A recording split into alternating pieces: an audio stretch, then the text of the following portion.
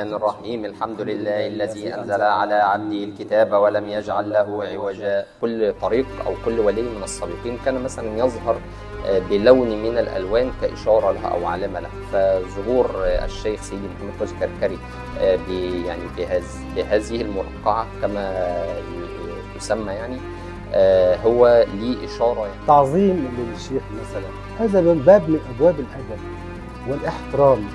والتعظيم ليس التقديس إحنا لا نعبد إلا الله. طريقتنا طريقة المشاهدة فمن لم يشاهد فلست بشيخي وليس بمريدي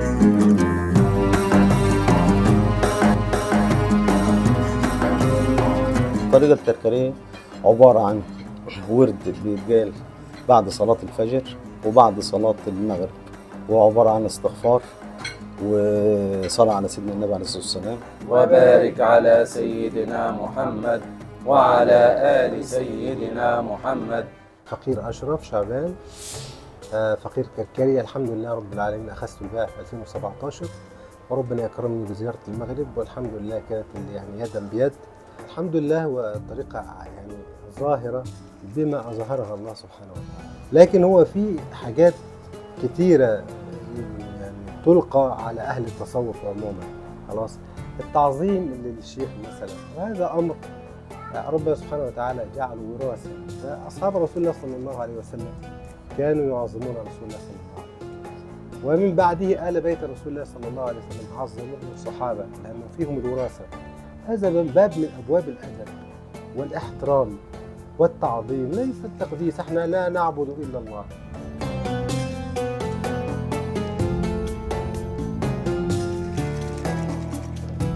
السحر والدجل. هل رأيت ساحرا يتوضأ ويصلي.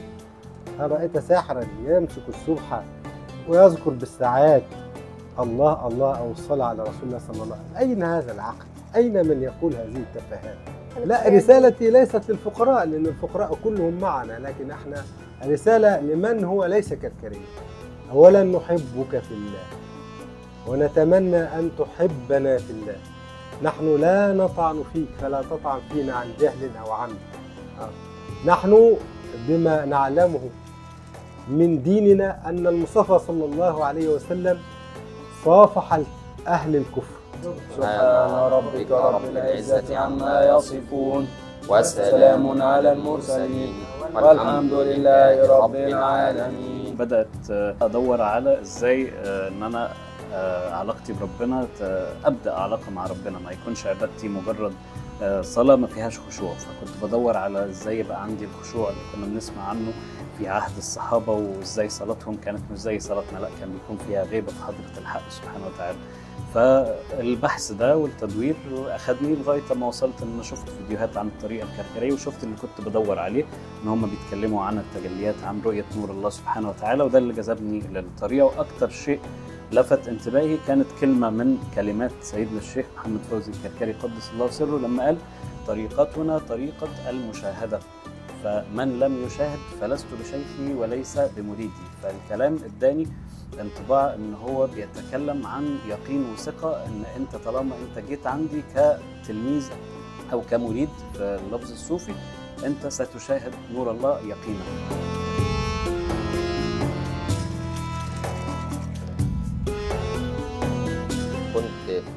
السابق كنت في طريق آخر ولكن برضه طريق شاذلي كنت أتربى على يد آه، شيخ رحمة الله عليه. وكان هذا الشيخ آه، أيضا رأيت على يديه النور.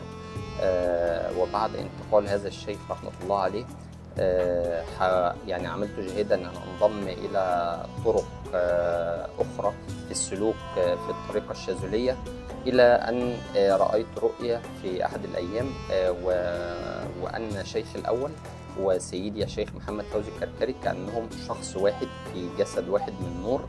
فعلمت من الرؤية آه، بأن هناك إذن من الشيخ بأن أتبع هذه الطريقة وأنا لم أكن أعرف من قبل الطريقة الكركرية ولا رأيتها من قبل. وبهذه الرؤية بحثت عن يعني من يوصلني بهذه الطريقة ف يعني وصلت إلى أحد الأشخاص الفقراء الكركريين بمصر آه، واستمريت على على الاوراد كل طريق أو كل ولي من السابقين كان مثلا يظهر آه، بلون من الألوان كإشارة لها أو علامة لها. فظهور آه، الشيخ سيدي محمد فوزي كركري يعني بهذ- بهذه المرقعه كما يسمى يعني هو لي إشارة يعني كنت أفهمها أنا بأن يعني هذا أمر جميل آه، فيه جمعية لكثير من الخير ويجمع مشارب كثيرة من الأولياء السابقين.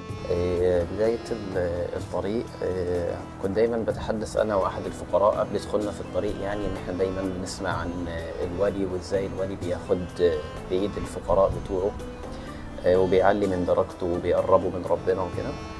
فكنا دايما بنسمع عن الموضوع ده وبنتمنى إن ربنا يرزقنا بشيخ يوصلنا للطريق ونمشي في سكة نوصل بيها لربنا سبحانه وتعالى.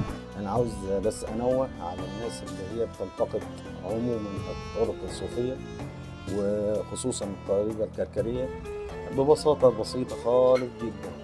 أنا أقول لكم أنا ككركري بعمل إيه؟ والشيخ إيه اللي قال لي أعمله؟ ببساطة جدا. الطريقة الكركرية عبارة عن ورد بيتقال بعد صلاة الفجر وبعد صلاة المغرب. وعبارة عن استغفار وصلاة على سيدنا النبي عليه الصلاة والسلام وتوحيد وحمد وشكر لله آه، بعد صلاة الفجر وبعد صلاة المغرب.